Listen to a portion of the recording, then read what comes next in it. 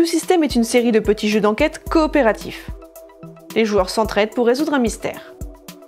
Les cartes présentes dans cette vidéo sont celles du scénario de démo. J'essaie d'en dévoiler le moins possible, mais je vous invite à regarder une vidéo alternative où je remplace les cartes par mes chats si vous préférez avoir totalement la surprise. Dans Q-System, les joueurs prennent le rôle de détective. Chaque boîte comprend un scénario à résoudre et chaque scénario fonctionne de la même manière. Une boîte de Q-System est composée de 32 cartes.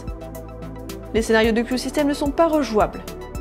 Une fois l'histoire connue, il n'est pas possible de recommencer une partie avec la même boîte. Une partie de Q-System commence avec la lecture de l'introduction. Le jeu se déroule en deux phases. Une phase d'investigation, puis une phase de conclusion. Lors de la phase d'investigation, les joueurs jouent ou défaussent les cartes qu'ils ont en main. Ils n'ont pas le droit de décrire précisément leurs cartes, mais ils peuvent communiquer sur les éléments soulignés. Si la carte est jouée, elle est placée face visible au centre de la table. Si elle est défaussée, elle reste face cachée.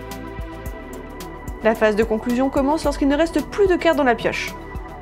Les joueurs perdent immédiatement s'ils ont défaussé moins de 6 cartes.